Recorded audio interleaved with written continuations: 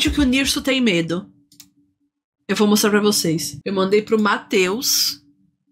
Eu mandei pro Matheus e falei, cara, olha esse vídeo aqui que o Nirso falou que tem medo. Olá. A gente tava falando assim, vou, vou, contextualizar vocês. A gente tava falando de medos, de quando a gente tinha medo de coisas de criança. E eu falei que eu sempre fui uma criança que eu não tive muito medo das coisas assim. E aí a Mimi pegou e falou assim, cara, Bel, toda vida que você fala sobre as experiências que tu teve enquanto criança, tipo, com terror e tal, e o Vini tá envolvido, eu sou o Vini. Porque o que acontece? Eu queria ver Chuck no VHS. A minha mãe não deixou, e os pais do Vini também não. Aí eu peguei e falei pro Vini, eu vou ver escondida sozinho enquanto eles dormem. Aí o Vini falou: tá bom, eu vou ver junto. Mas eu acho que eu vou ter muito medo. Daí eu falei: não, vamos ver junto, vamos ver junto. Aí o Vini viu o Chuck, ficou traumatizado e acordou os pais dele. Ou seja, eu tomei um esporro. Ele acordou os pais dele com medo, chorando, e eu tomei um esporro, porque o Vini ficou com muito medo. E, tipo, eu, eu não era uma criança com muitos medos. Eu tinha medo de duas coisas muito específicas. O primeiro era o Homem da Mala, eu sei que é conhecido também como o Homem do Saco, em outros lugares aí, porque eu já via coisas de true crime e os caralho, e eu sabia que dava pra esquartejar um corpo e guardar dentro da mala. E aí eu tinha medo dele porque eu associava ele a isso. Eu tinha uns 7, 8 anos de idade, tá, galera? Associando isso. E eu tinha medo, eu tinha medo do cadeirudo. Segundo, também, tinha medo do cadeirudo. E em terceiro, eu tinha eu tinha, ah, tá, lembrei agora do que do que, que é o outro que eu tinha medo. É, tem um contexto também. É porque o que acontecia? Tinha uma tia minha que toda vida que ela ia lá na minha casa, ela tentava meio que mandar é, eu fazer as coisas, sabe? Tipo, ela tinha, ela tentava mandar a minha mãe, tipo, fazer as coisas. E a minha mãe sempre foi muito é, nada, zero compatível. Minha mãe é o meu oposto, tá? Minha mãe é o meu oposto. E essa, e o que, que acontece? Eu era uma criança que eu já tinha anemia, eu era fresca pra caralho pra comer. Tipo assim, se eu não gostasse da comida, eu não comia. E aí essa minha tia pegou e falou assim: Não, Thelma, falou pra minha mãe, tu tem que deixar ela na mesa e falar, ó, oh, tu só vai sair da mesa quando tu terminar de comer. E aí minha mãe pegou e falou isso pra mim: só vai sair da mesa quando terminar de comer. E aí eu dormia em cima da mesa. Tipo assim, eu, eu, eu deitava em cima da mesa porque eu não ia comer, eu não comia. Entendeu? Eu não ia comer. Se eu não gostasse, eu não ia comer e ponto. Aí minha mãe falou: Nossa, não adiantou. Quem diria? né? Aí, essa mesma. E aí, desde criança, eu já tenho um problema de constipação. Que é pra ir no banheiro mesmo. Eu tenho um problema pra ir no banheiro. Sempre foi assim. Sabe? Desde criança mesmo, isso, tá?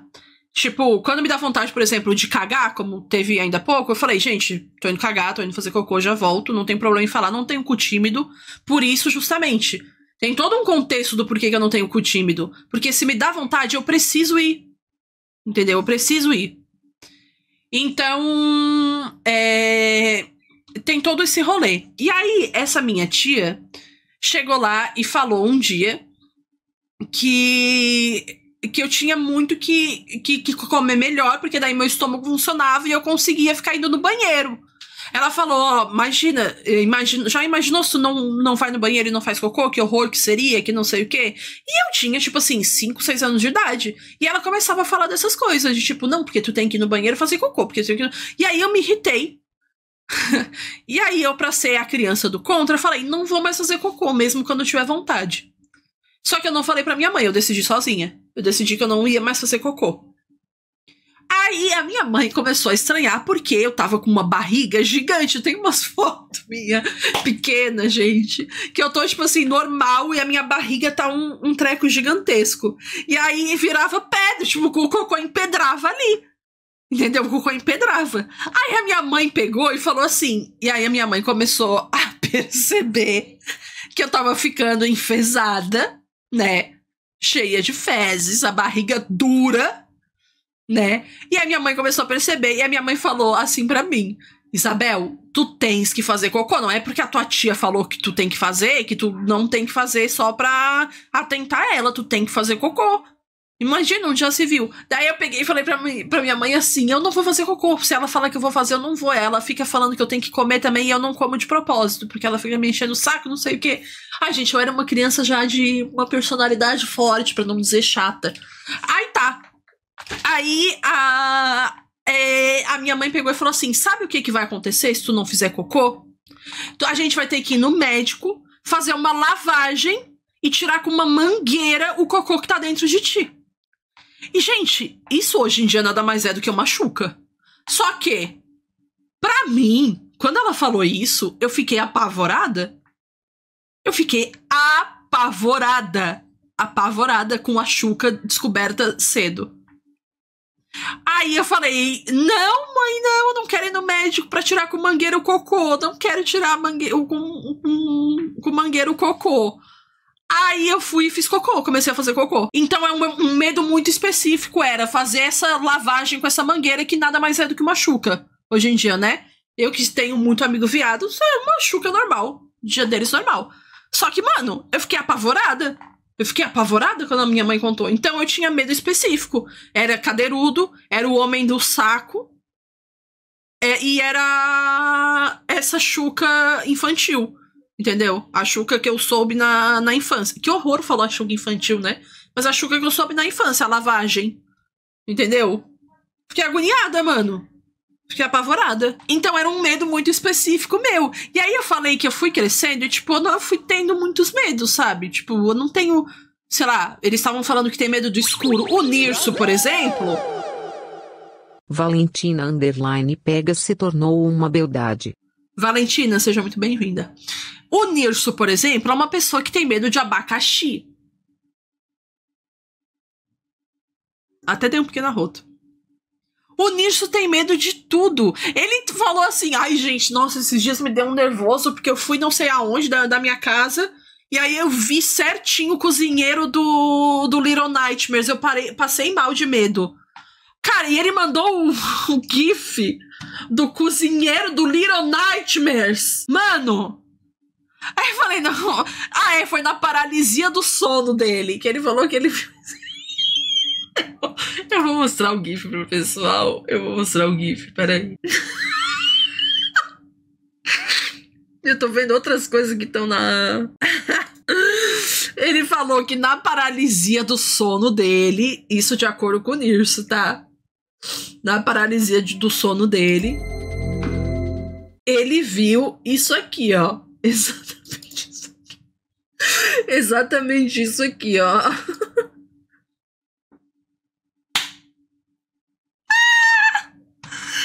O que me mata é a reboladinha, mano. Essa reboladinha me mata, me mata, me mata. Eu não consigo ver.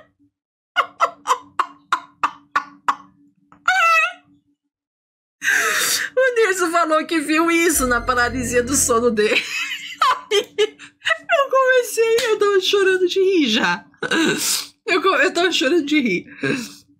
Aí ele começou a falar dos medos dele. Só que o Nirso, gente, é uma pessoa que ele tem muito medo. Muitos medos. Ele, aí ele falou, ai, quando criança eu tinha medo do Mr. M é, sei lá mais que ele falou que tinha medo. E aí ele, daí eu, eu comentei que eu não tinha. Hoje em dia eu não tenho medo, mas eu tenho agonia de gnomo. Eu não gosto de gnomo. Cu da Bel, obrigada pelo subgift pro cu extrovertido da Bel. É, eu não tenho é, medo de. de gnomo, sabe? Mas eu tenho agonia de gnomo. Sabe quando a gente tá jogando Power Wash e aí eu chego e falo, ai, leva esse gnomo pra longe, que eu não gosto. Aí tá, Aí o Nirso pegou e falou assim: Nossa, gente, eu lembrei de um vídeo que aparece um gnomo. Que eu via quando eu era criança, que eu morria de medo. E é tipo um goblin, assim, não é um gnomo, é um goblin. Eu morria de medo, eu vou mostrar. Gente, ele mostrou esse vídeo. Gente, eu não conseguia falar. Eu não conseguia falar de tanto que eu tava chorando de rir chorando, chorando, chorando, chorando de rir, de verdade. E aí eu falei, eu vou mostrar pra minha live, eu vou mostrar o vídeo pra minha live. Aí ele falou, eu vi ao vivo na rede TV, num programa de terror. Cara, eu vou, eu vou passar mal vendo esse vídeo de novo. Juro por Deus. Eu vou passar mal. Olha essa porra aqui. Olha essa porra aqui. Olha, olha. ¿No te puede? Búscala. Que te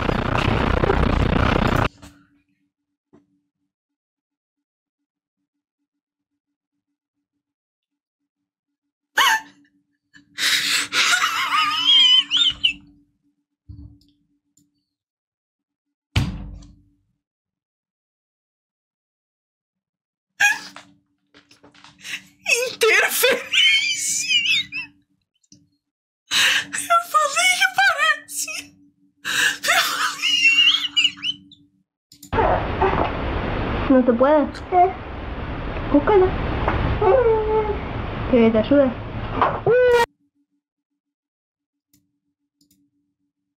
Aí eu falei pra ele fazer um GIF desse. Eu imploro pra alguém fazer um GIF disso aqui, mano. Eu vou botar de emoji. Sem nenhum contexto, ninguém nunca vai usar. Eu preciso usar isso de emoji. Aí eu falei que parecia o soldadinho do filme dos Pequenos Guerreiros. Sa A Steph falou é alguma das meninas da ginástica. Parece qualquer mod minha. Ai. Que te ayude. Parecia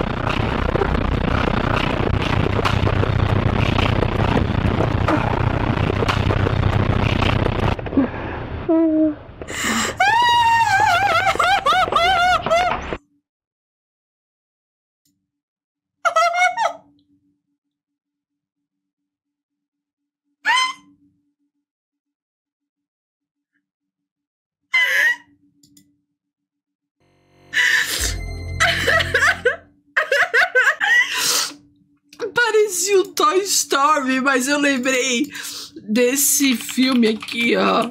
Eu tô até Regina Ocas, tanto que eu rio. Ai, meu Deus do céu. Eu não sei se vai ser da época de vocês, mas parecia muito os, os pequenos guerreiros desse filme aqui, ó. Porque daí eles têm vida. Eles, eles criam vida, os, os, os guerreiros desse menino. E esse aqui parece o Júlio César também, o goleiro, né? Também vamos ser bem sinceros. Esse daqui era o vilão do filme do Pequenos Guerreiros. E eu amava esse filme. E aí eu falei que aquele bicho correndo parecia esse filme. Parecia um guerreiro desse filme.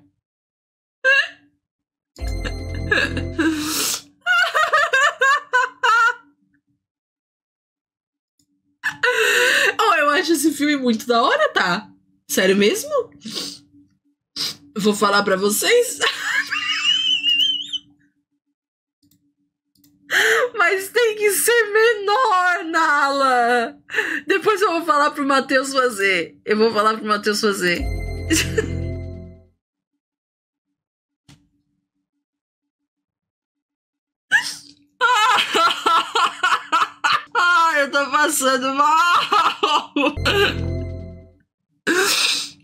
E aí o Nirso vem com esses surtos, tá ligado?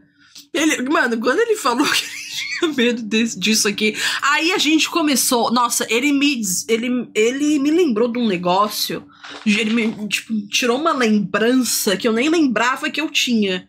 Que era do Stalker da Bjork. Eu não sei se alguém aqui lembra disso. Mas ali nos anos 90, final dos anos 90, a Bjork tinha um, um Stalker que ele era, tipo assim, full maluco mesmo, sabe? Full doido. Eu não vou mostrar o vídeo dele. Eu não vou mostrar o vídeo dele. Porque gore. Tem gente que pode ficar com medo agora. Mas, tipo, é... enfim, tinha esse stalker dela, ele era, ele era full doido mesmo, assim, ele era apaixonado por ela. E aí, quando ela anunciou que ela tava namorando, ele, ele despirocou, tipo, ele ficou surtado e ele mandou uma bomba pra casa dela. Tipo, e, se, e no momento que ela abrisse o pacote ia explodir, sabe? Era no momento que, que, que abrisse o pacote e explodir. Era um surto. Tipo, mano, anos 90 é tenso. E aí, logo depois dele mandar essa bomba, ele se gravou, tipo, dançando, fazendo uns negócios, conversando com a câmera, bem louco, e pintando a cara inteira de vermelho. E aí ele parece. No final do vídeo ele parece o Hellboy. Ele põe umas. Ele põe umas umas coisas que deformam o rosto dele, assim, uns efeitos, uns, uns surtos. E depois desse vídeo ele se matou. Tá? Sério, gente, esse é, é, esse é um caso muito bizarro. Muito, muito, muito, muito, muito assustador. E, tipo, ele era muito, muito viciado nela e ele se matou, tipo, ele era muito novo, tá? Vocês podem pesquisar se vocês quiserem, eu não vou mostrar aqui. Ele se mata no final desse vídeo. Tá? No final desse, desse, desse surto todo Sabe? Então, assim, mano, não, não tô rindo. Eu tô rindo do momento em que ele pinta a cara inteira dele de vermelho. Porque ele parece o Hellboy. E aí o Nirso chegou do nada na Cal. E ele falou: Vocês lembram do Stalker da Bjork, gente? Nossa senhora, eu passo mal de lembrar com ele com a cara dele toda de vermelho. Eu tenho muito medo quando eu lembro da cara dele de vermelho. Mano! Sério, ele parece o Hellboy! Ele é a cara do Hellboy!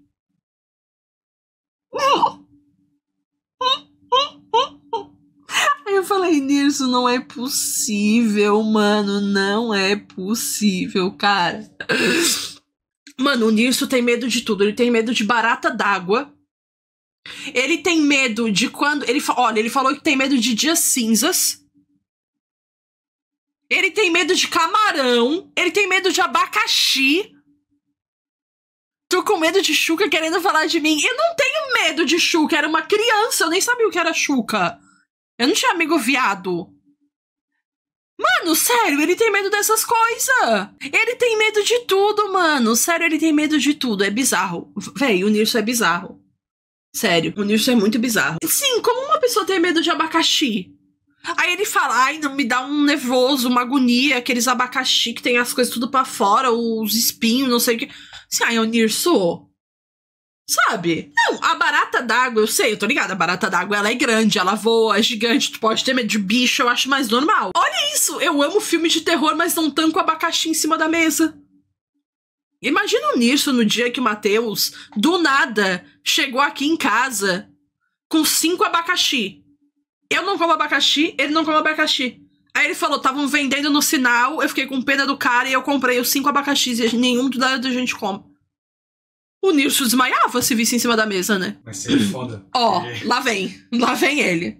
Seria foda que, tipo, começa que eu tava no sinal vermelho. Hum. Então eu não tinha pra onde correr. E eu tava dentro do carro.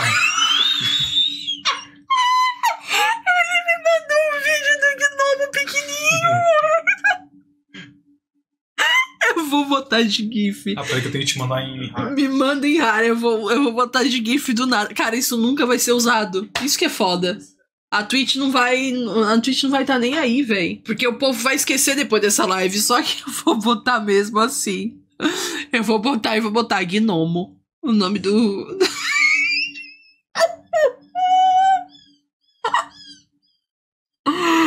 Teve uma vez que eu perguntei para ele por que ele não jantou e ele disse que sentou na mesa e o abacaxi tava encarando ele. Tipo, sabe, é essa pessoa aí que vocês estão falando, ai, a Bel tá rindo do medo do Nirso. Mano, Sabe? Coloca Nirso o nome. Não, vou botar Gnomo. Juro por Deus. Ó, como que tu botou o nome? Eu nem percebi. Interferência.